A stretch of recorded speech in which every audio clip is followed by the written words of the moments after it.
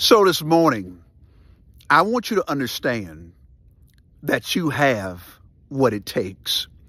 There are a lot of people that God removed out of your life in 2023 because those were individuals that magnified your failures but downsized all of your successes.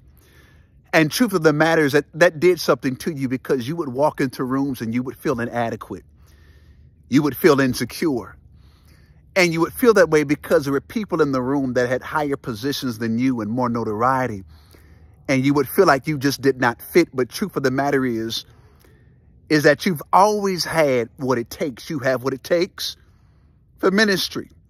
You have what it takes for business. You have what it takes for your music career.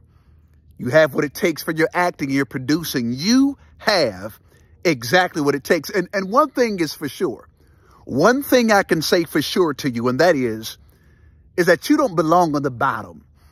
And there were a lot of people that kicked you when you were down and you cried yourself to sleep. But God says, I'm saving all your, your tears to fertilize your future because you have exactly what it takes. Don't let anybody make you feel like you don't belong in the room.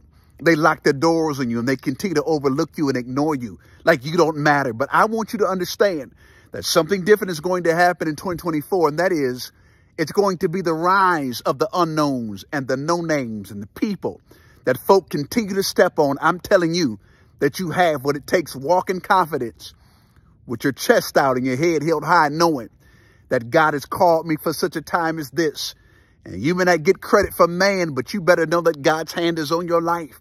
And you better know that there's a mantle that you walk with and that there's going to be a high demand in 2024 for your voice, for your presence, for your touch, you, ma'am, you, sir, need to know that you have exactly what it takes. And if you agree with his word, I need you to type, today, I want to thank me.